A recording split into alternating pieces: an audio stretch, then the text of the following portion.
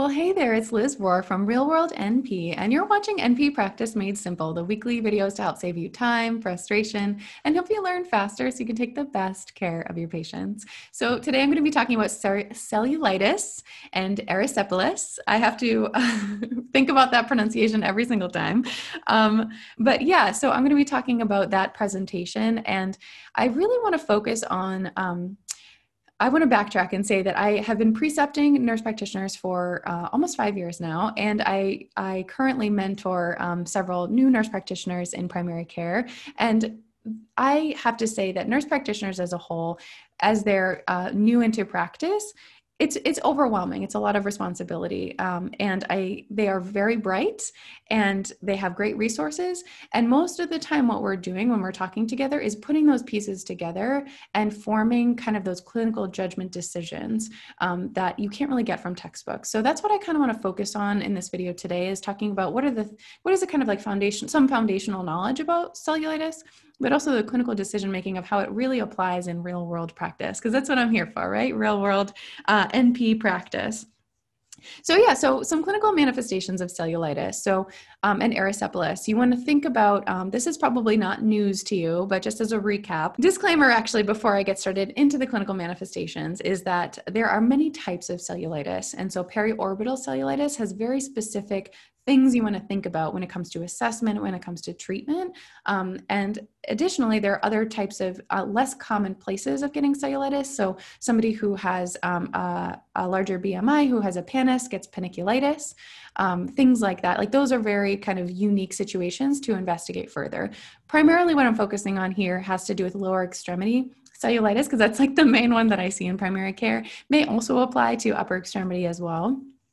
But anyway, so just using your clinical judgment and listening to your gut when it comes to specific types of cellulitis that are less common presentations. But anyway, so I'm generally focusing on lower extremity cellulitis because that's the most common cause. So some clinical manifestations is it's usually the unilateral, um, uh, one-sided uh, edema, warmth, uh, whether it's like slightly warm to hot and uh, erythema. And I want to make a note that um, there's different skin tones for patients, right? So there's that Fitzpatrick scale, that one to six, that talks about, um, you know, uh, darker versus lighter skin, like all the way up the scale. So depending on the baseline skin tone of the patient, it's going to appear differently, right? So in patients who have a, a five or six skin tone, or darker skin tone, they might appear as hyperpigmentation. So definitely don't um, miss out on that for sure. And that um, it's not talked about, I think, enough. Um, versus if you have a very light skin tone, I, I believe I have type one. Um, for me, it would be a very uh, like a brighter red color. Uh, potentially. Um, and so um, you might also see things like petechiae, superficial bullae, and I never say that right, those large blisters. Um, you also may see vesicles, the smaller blisters, as well as ecchymoses sometimes. I don't see that as often, but I definitely do see the bullae and the um, vesicles for sure. Um, you may or may not see fever in patients. It tends to correlate with more clinically ill patients when they have a fever um, or things like tachycardia or hypotension. Um, if you happen to see that, those patients are a lot more ill and likely need hospitalization. And then um, when it comes to erysipelas versus um, cellulitis, erysipelas is more of a superficial um, uh, uh, skin infection, whereas the cellulitis goes deeper into the uh, towards the fat tissue. And for erysipelas, you might see a more rapid onset, brighter, um, more intense symptoms, and you might see edema of the skin and that peau d'orange appearance, like the um, orange peel, uh, because of the follicles, because of the edema, and like sharp demarcation. Um, that's a little bit more consistent with that. I see that less often, quite honestly, than the cellulitis. And then when it comes to um, the assessment and the treatment, um, cellulitis really breaks down into purulent versus non-purulent. And there's kind of different treatment pathways depending on which one you're talking about. If there's any discharge, drainage, things like that, or an abscess. Really important to assess is if there's any fluctuance. So when you're pressing down um, with gloves on, on top of the, uh, of the area, you're not getting any of that fluctuant sensation because those patients may need incision and drainage. They might need some, some other types of treatment. I'm not really getting into abscess in this video. A couple other things I just want to talk about when it comes to cellulitis and the conversations that I typically have with newer clinicians. Um, a couple things to think about. So, one is risk factors. Another one is whether or not they need hospitalization. Um, choosing the antibiotics, and then um, the type of like kind of real world management. So, just to jump in, that's the rest of the stuff I'm going to talk about in this video. So, um, risk factors. So, there's a number of risk factors to think about, which will really inform your um, plan going forward. So, where did this come from? So, did somebody fall and they have a trauma to the area and then it became infected? Do they have an underlying skin condition like eczema, psoriasis, um, things like that?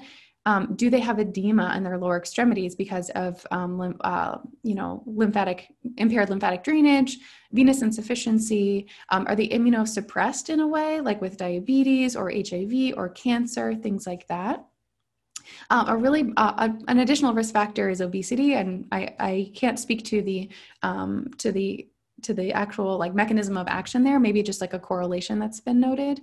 Um, and a really kind of sneaky pearl one which you may have heard before is um, tinea. So having tinea pedis in between the toes um, onychomycosis in the toenails those are definitely risk factors for the development of a bacterial skin infection a cellulitis. So things to think about like what are those risk factors? So not only that helps you in, helps inform the history and like what the steps further are like was it just an injury? The injury is going to heal you treat the uh, treat the cellulitis and it goes away way versus they have diabetes um, and tinea pedis, do you want to treat them uh, for the tinea? And then you also want to think about um, does that increase their risk for a more severe infection?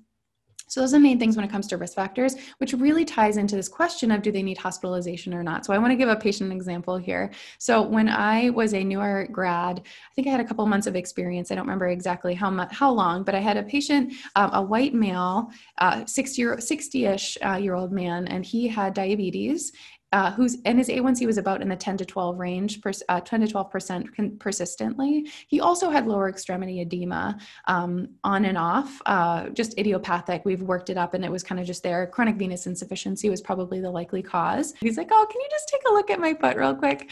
Um, I I fell and I stumbled and I stubbed my toe.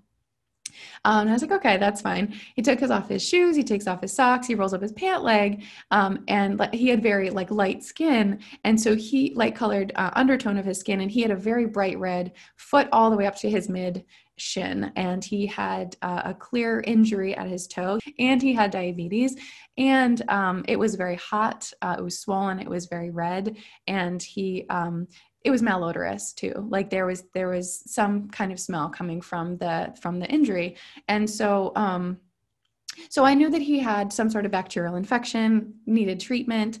Um, but i just had this gut sensation of this is a lot of i see this a lot in newer clinicians where it's kind of it's a little bit overwhelming to be a new provider regardless of nurse practitioner or otherwise when you go to see a patient, um, you're really focused on the symptoms, the history, the assessment, diagnosis, the plan, the treatment it's kind of hard not to get swept away by that. And so, very easily, you could say that this patient needs antibiotics. Um, but it's really important to take that pause. And I and I had this pause of like this gut sensation of like, oh, okay, like I probably should have somebody else look at this. This looks this looks really severe.